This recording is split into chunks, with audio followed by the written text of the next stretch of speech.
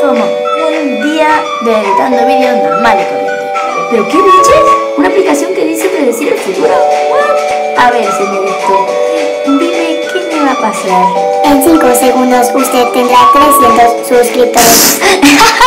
300 traviesos, ya me lo imagino yo. como si los perros vuelan, ¿no? ¡Ey, tío! ¡Tenemos 300 suscriptores!